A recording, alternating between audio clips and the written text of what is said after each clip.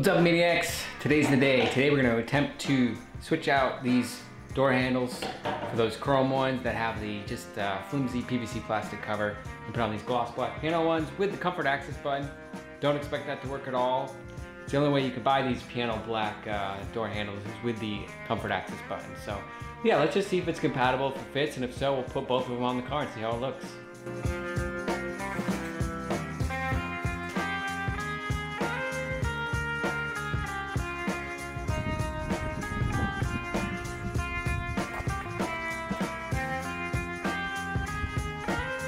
So I shot this video a couple of days ago and I just wasn't happy with it. It's, it's, really difficult to show the inside of the door that you have to see in order to uh, move the parts and describe the parts you're going to move around to install or remove the chrome uh, door handles and replace them with piano black ones. So I'm going to try and shoot this again. I'm going to remove the piano black one and then just reinstall it and try and show that process. Uh, keep in mind it's really hard to show the inside of the door um, with the camera. Uh, so I'm gonna have to try and describe what's going on in there the best I can. But yeah, I've been using these for a couple of days now, these piano black door handles, and they have been great. I bought them at outmotoring.com. I'll leave a link in the description where you can get them. I highly recommend them. Awesome upgrade. Remove the chrome ones, put on the piano black ones. That means I don't have to have this uh, really squishy cover on uh, on anymore. Uh, they just feel feel and look great. Um, the comfort access button, uh, we'll get into that in a, in a little bit. I'm gonna show you if that works or if it doesn't, if you have it uh, already or if you don't. And yeah, let's, uh, let's get into it. Okay, we're gonna do the driver's side because the driver's side is more difficult. It has the keyhole, uh, the barrel for the key in the way of where we need to be. And I don't wanna remove that barrel, so I'm gonna show you a workaround that I figured out I'm using a rubber band.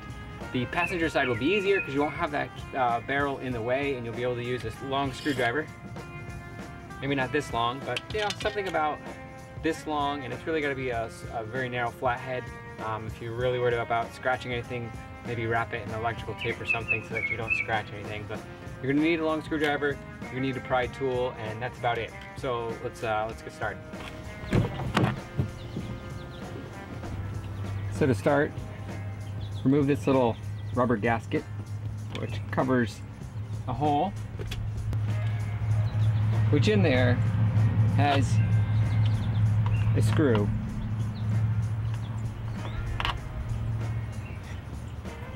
And I've read that the bolt uh, isn't supposed to come all the way out uh, so you don't have to worry about dropping it down in the door. However on the passenger side mine came all the way out so be really careful that you um, don't drop this down into the door it'd be making for a really bad day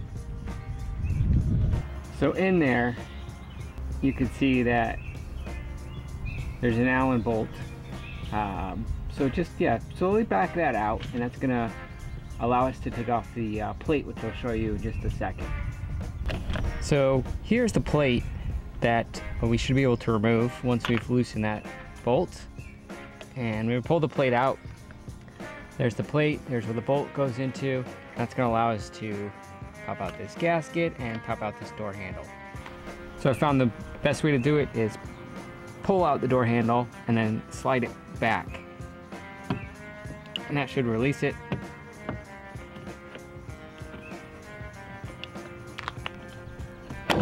Yep, there we go. You can hear that release. I'll remove the gasket, pull it out.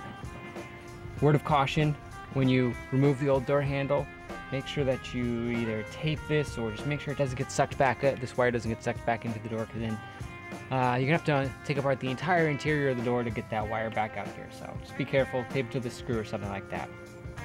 So if we look at the difference here, here's the new piano black one. Here's the old chrome one with the uh, with the cover. You can see it's chrome on the inside.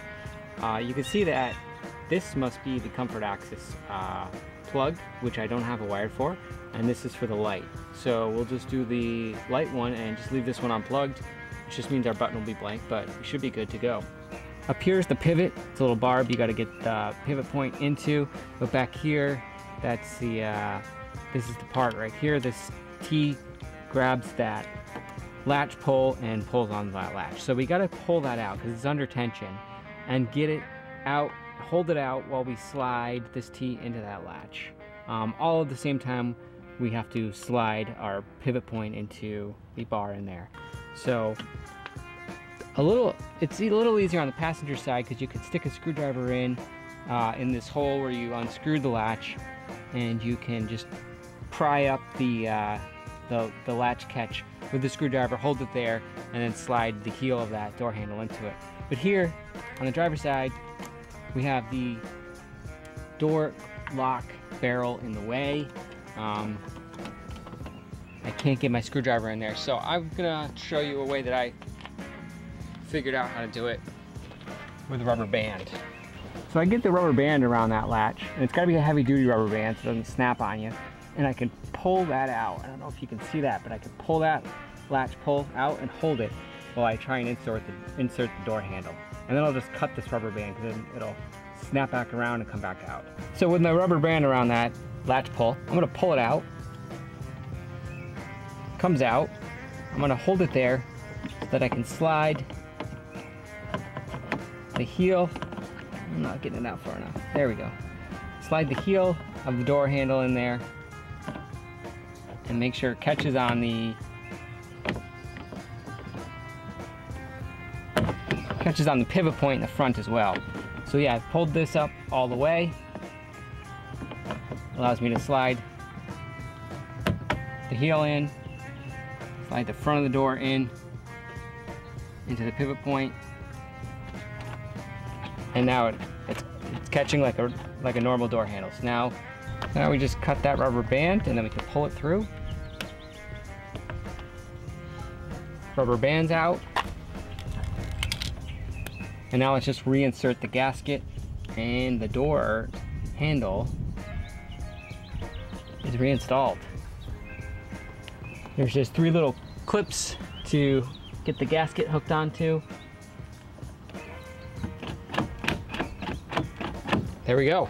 We take our key plate and we just insert that back into there. Key plate and retighten our bolt.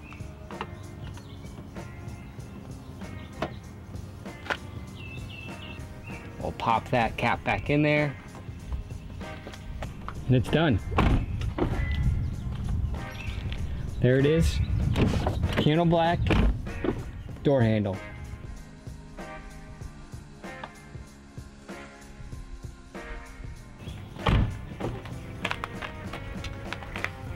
So that's it. Sorry this video took so long. It's really difficult to get those shots of uh, what's going on inside the door. Hopefully this helps. Uh, and once you open it up yourself, I think you'll you'll see what's going on in there. But yeah, that's how we remove the uh, chrome door handle with the squishy, just uh, ABS plastic door cover, uh, chrome chrome delete door cover. Replace it with a piano black mini part door handle. It looks great. Um, doesn't feel squishy like the like the cover did and it's just it works great the comfort access button. As you can see we didn't have anywhere to plug it in so it doesn't work. It's just a blank button but it's fine. Uh, it blends in a lot better than the comfort access button does in on a chrome door handle. So yeah love it. Super quick install probably 30 minutes each, each side. So you're looking at like an hour to do the uh, to do the car. So if you have any questions, leave them in the comments section below. Again, I'll leave a link in the description where I bought this and uh, you can uh, get yourself some and install it on your car. If you haven't subscribed already, don't forget to do that. And when you pass another Mini, don't forget to wave. Catch you guys in the next one.